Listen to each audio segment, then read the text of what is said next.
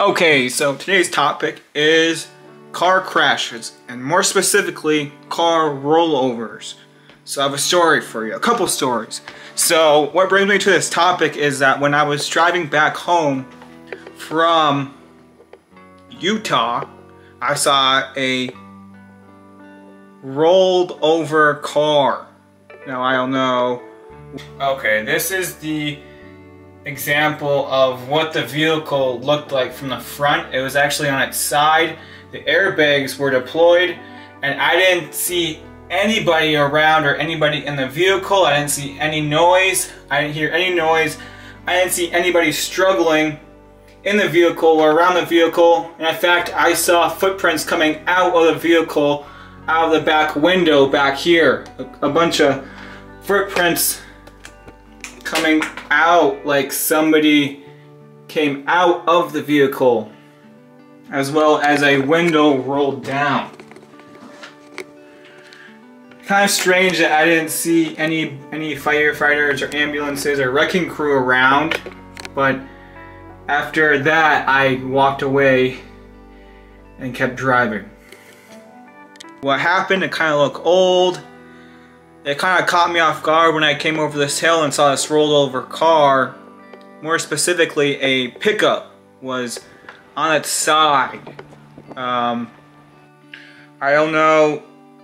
So a couple possibilities is that um, it rolled over on its side or it rolled a couple times. I'm not really sure. Um, but it was a pickup on its side um, and I stopped and walked towards this rolled over vehicle. Um, however I didn't really see anything. I didn't really I wasn't really sure what to do so I left. Um, and that's my story with a rollover. Um, Another story about a rollover is that my friend was in a rollover, also with a pickup.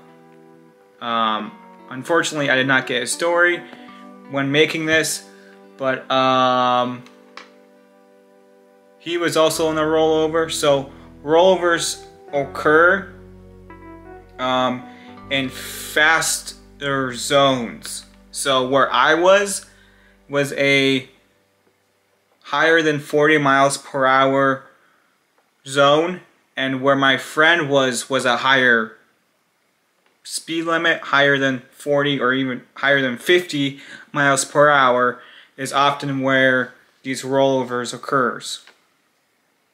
Um, and rollovers can be very dangerous. Um, they can be very dangerous and cause major injuries, even fatalities if not buckled. Um,